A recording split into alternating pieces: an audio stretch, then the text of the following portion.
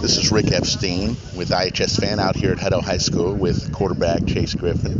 Chase, you're just getting started in spring. Uh, what do you hope to accomplish this spring? I mean, really, goals just get better than I was last season. Not just a little bit better, but way better. I want to uh, maximize the things I'm already good at and uh, build up some of the things I struggled with last season.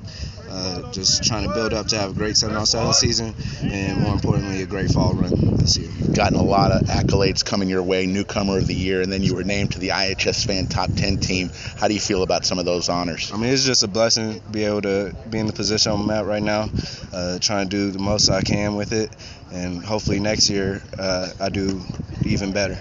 Wonderful. So last year, uh, your first year on a varsity, come in and you took the district by storm. Um, what, what, do you feel about the 2017 Hippos? What are you expecting? I mean, I'm not going to call anything right now, but I'm very confident in this season. I feel like it's going to be something special.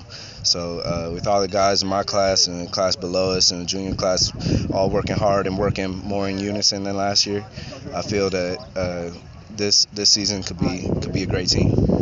Well, thanks so much. We're looking for great things from you this Absolutely. year, Chase. Thank you.